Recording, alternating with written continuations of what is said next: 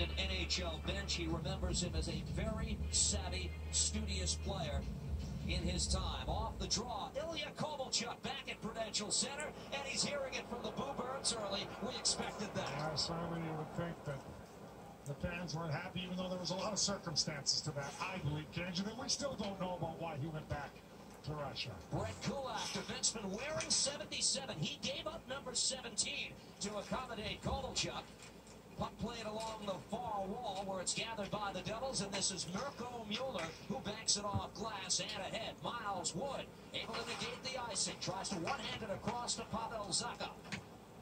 Mueller for Butcher, who plays the puck in deep. It is Zacha centering Wayne Simmonds and Miles Wood at the start here tonight. No Nico Hischier, as Erica told you in the setup.